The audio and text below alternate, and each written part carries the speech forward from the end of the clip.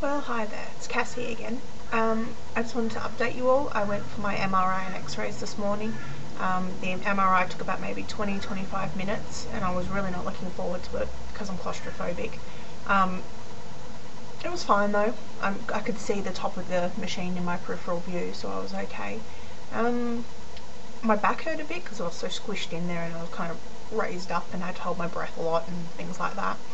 Then I had to wear an open back gown, which was not nice and not flattering, but I managed to deal with that. Then they took me down to the x-ray room and they gave me um, chest x-rays first.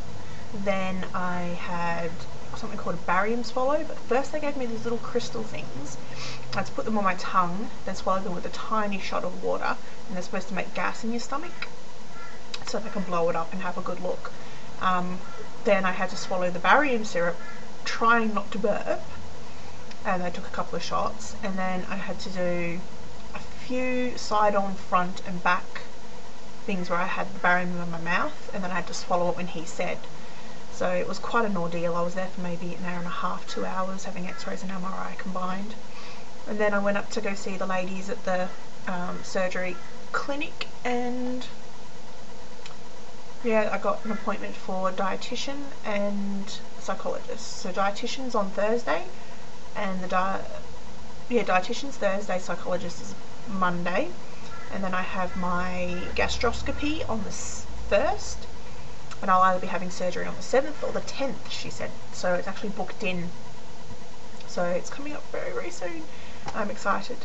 Um, I have to start my protein shakes on Monday I'll let you guys know how I'm going with that because I'm not looking forward to it. I've got a few things to go do. Um, I've got a gathering to go to up in Brisbane for some fish enthusiasts and um, they're going to be bringing yummy food like chocolate mud cake and all kinds of different things and I'm not going to be able to eat anything which is not very fair. But um, I'm going to try and be good.